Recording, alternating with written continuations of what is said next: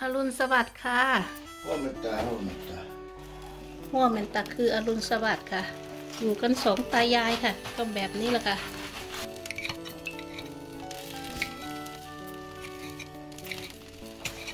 เดี๋ยวไปชมบรรยากาศอื่นๆต่อสวัค่ะสดีค่ะ มาค่ะ นี่ก็อีกมุมหนึ่งของชีวิตในต่างแดนของพวกเราเนาะค่ะ วันนี้ยายสนออกมาอีกเหมือนเดิมค่ะ ออกมา หลังจากที่อุณหภูมิติดลบ ติดลบเจ็ดลบแปดลบสิบกว่ามากับสองอาทิตย์เนาะค่ะ วันนี้ก็ออกมาได้แล้ว แต่หนาวมาก เดี๋ยวเราไปไหนกันเดี๋ยวมาชมกันค่ะ ลมแรงมากนู้นค่ะมองเห็นไกลๆมาแล้ว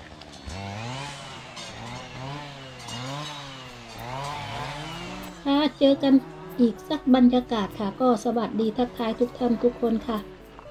วันนี้ก็ มาออกเดินออกกำลังกายกันค่ะทำไมถึงมาถ่ายทำให้พี่ๆน้องๆได้ชม อันนี้ผู้สูงวัยค่ะ ในกลุ่มชมรมของผู้สูงวัยของที่นี่เนาะค่ะเนาะก็จะนัดกันทุกวันพฤหัสค่ะ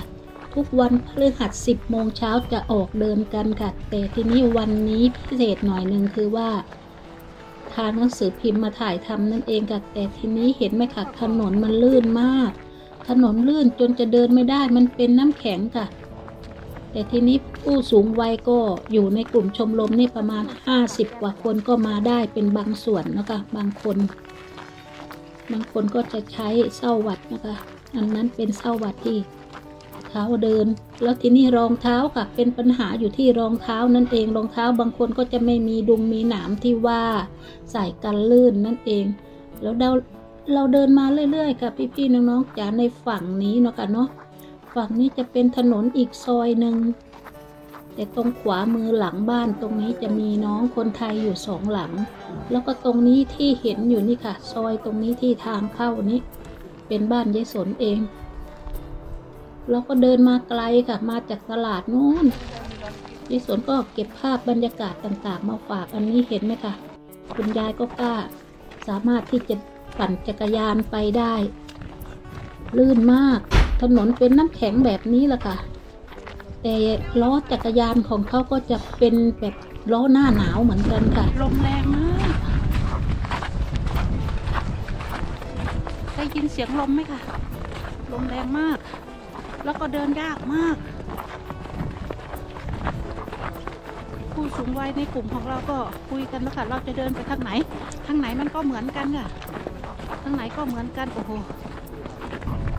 เดินยากมากเดินบนน้ำแข็งเนอะค่ะเนาะ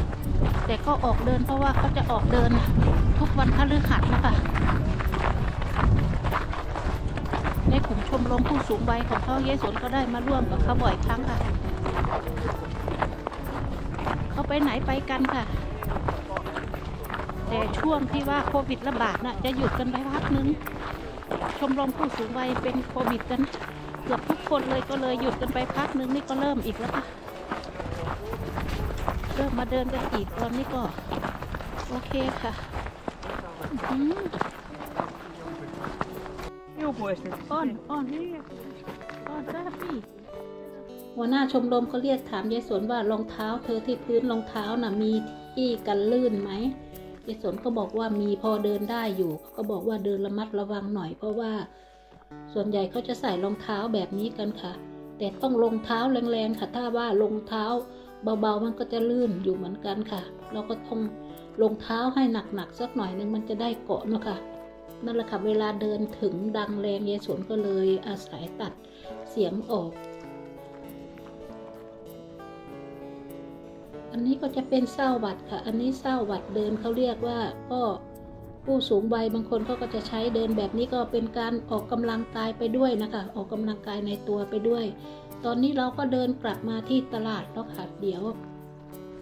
เราก็จะมาแยกทางกันตรงนี้นะเอง อันนี้ในตลาดของหมู่บ้านเรานะคะเป็นหมู่บ้านเล็กๆ ตรงนี้จะเป็นตลาดสดค่ะ เห็นไฟกระพริบกระพริบอยู่ตรงนั้นนะคะนี่แหละค่ะช่วงข้างหน้านู้นก็จะเป็นซูเปอร์มาร์เก็ตแล้วก็นี่แหละค่ะเดินมาจากบ้านยายสนก็ไกลอยู่เหมือนกัน เราก็จะมาแยกทางกันตรงนี้ค่